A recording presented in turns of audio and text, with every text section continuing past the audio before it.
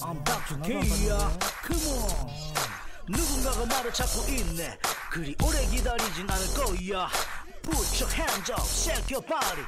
Everybody say, everybody say ya 자 여러분 반갑습니다. 아, 닥터케이입니다.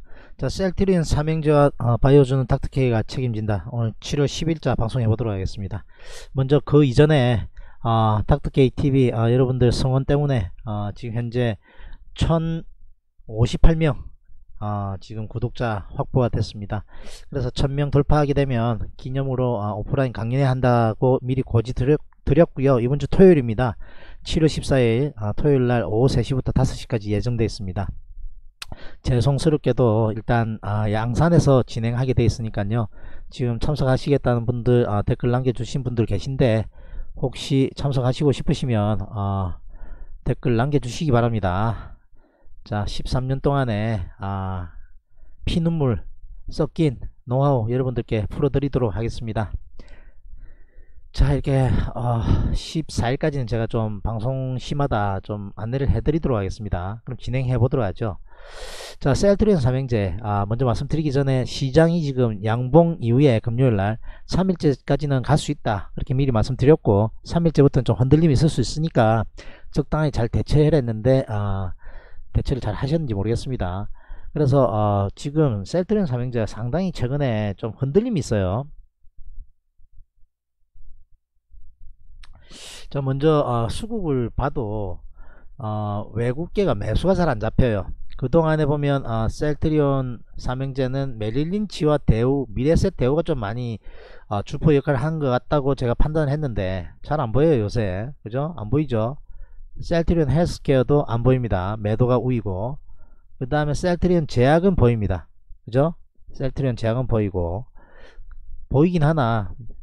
다른 창구가 더 우이죠. 그러니까 없는 거나 비슷한 겁니다. 자 그래서 지금 아 먼저 셀트리온 삼행제부터 먼저 말씀드리자면 계속 지속적으로 말씀드리고 있는데 수급이 요새 좀 별로예요 약간. 그죠? 셀트리온 아 여기 60일선 상당히 중요하다. 28만원 27만원. 여기를 잘 지켜야 된다. 그래서 지금 아 상당히 지금 요 좁은 박스권 안에서 한 4일 동안 움직이고 있는데 밑으로 처질 듯 말 듯 하고 있어요. 깨지게 되면 상당히 문제가 있다. 만약에 내일이라도 깨지게 되면 비중 축소 반드시 해야 된다는 의견 저는 드리도록 하겠습니다. 자 오늘도 사실은 좀 축소해야 되거든요. 그래서 시장 상황에 따라서 좀 유동적으로 해야 된다 이렇게 잘 갈 때는 모르겠으나 아침에는 괜찮다 했을 겁니다. 근데 깨지, 깨져버리면 이런 부위에서는 비중도 좀 축소했다가 나중에 다시 채워넣는 그런 전략이 필요한데 자 여러분들 중장기를 하시는 분들 많아서 어떻게 대처를 하시는지 잘 모르겠습니다 일단. 자 그래서 최근에 기관 외국인 매도세도 많이 나고 있다. 그래서 지금 힘을 못 받고 있다. 그리고 셀트리온 헬스케어도 보면 자 모양이 비슷합니다 여기 추세 안 깨지고 상승했었어야 되는데 자 추세가 깨져버리니까 아침에 한 여기까지 봤거든요. 한 30분 동안. 자, 볼 때까지는 추세가 별 문제 없었는데 그 이후로 쑥 빠져버렸어요. 이것도 마찬가지입니다. 60일 깨면 안됩니다. 97,000원 98,000원권 반드시 사수해야 되는 선이다. 그 깨기 시작하면 상당히 문제 있어진다. 그렇게 말씀드리겠고 자 최근에 이것도 보면 외국인은 조금씩 잡아주는데 기간의 매도가 좀 많습니다. 자, 그래서 아 조금 지금 현재 주가가 힘없다 그리고 셀트리온 제약도 초반에는 좀, 좀 상승세 있었던 걸로 봐, 봤는데 결국 장막판에 밀려버렸습니다. 그래서 아 역시나 이것도 8만 천원대 8만원 정도는 반드시 사수해야 된다.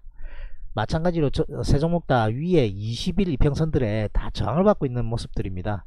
그래서 수급이 개선이 돼서 기관 외국인들이 쌍, 거리로딱 뚫어줘야 되는데 참 그것이 현재는 용이치 않다. 용이치 않다 그렇게 보여집니다 그리고 다른 종목들 보시게 되면 삼성 바이오로직스 역시나 44만원대 5만원대 못 넘어가고 지금 밀리고 있는 모습이고요. 자 이것은 분식에게 아직까지 뭐 해결이 안 된 걸로 알고 있으니까 굳이 적, 신규론 접근할 필요 없어 보인다고 말씀드리겠고 기존에 가지고 계신 분들은 적당하니 박스권 상단에 오면 어, 물량 축소해 나가는 게 어떻겠냐 그런 그 생각이 어, 제 생각입니다. 여러분들 판단 여러분들이 하시고요. 그래서 어, 이것도 보면 뭐 지금 매수세 안 들어오고 있죠 외국계. 그리고 HLB, HLB도 마찬가지입니다. 10만원대 좀처럼 못 넘어가고 그 이전에 이제는 야 20일 장선인 97,000원대도 못 넘어가고 있어요 자 밑으로 더 쳐질 수도 있다 자 그렇게 말씀드릴 수 있겠습니다 자 그리고 신라젠도 말씀드렸다시피 여기 아 20일과 120일에 장 잘 못 넘어가고 있다. 좀처럼 못 넘어가고 있다.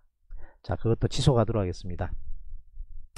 자 네이처 같은 네이처 셀 같은 경우에는 어, 주가 조작 혐의 있으니까 자 20일에 이제 이- 아 직접적인 이제 저항을 받는 그런 권역까지 왔습니다. 그래서 뚫고 올라가긴 상당히 힘들어 보인다. 자 가지고 계신 분이라면 선제적으로 좀 어, 매도하는 게 낫지 않을까. 그렇게 생각해 보겠습니다 자 매일매일 체크하다 보니까 여러분들 이제 뭐 간단간단하게만 체크해 나가도록 하겠습니다. 이슈가 있을 때만 뭐 짚어 나가고 크게 이야기할 게 있겠습니까? 그죠? 그러니까 자 이렇게 상승하던 추세를 잘 가지고 가야 되는데 이게 깨지는 순간은 여러분들 어떻게 해야 된다? 반응을 좀 해야 돼요. 무슨 말인지 이해되십니까? 자 내일이라도 이 강하게 빨 추세 안으로 도, 아, 다시 들어가야 된다. 그렇지 않으면 상당히 문제 있다. 그렇게 판단이 듭니다. 마찬가지고요 지금 삼행제가 다 그래요. 지금 상승 추세로 잘 가줘야 되는데 힘없이 밀려버리고 있어요. 그죠? 넷마프는 오늘도 갔네. 자 그래서 어, 분봉도 좀 잘 체크하시면서 아, 물량 줄였다 늘렸다 이렇게 좀 아, 지지에서는 아, 다시 좀 담아주고 저항권에서는 아, 밀리는 모습 보이면 좀 줄여나가고 그렇게 해줬으면 좋겠습니다. 자 여러분들 아, 오늘 하루 수고 많으셨고요. 저는 또 오후 9시 찾아뵙도록 하겠습니다 바이바이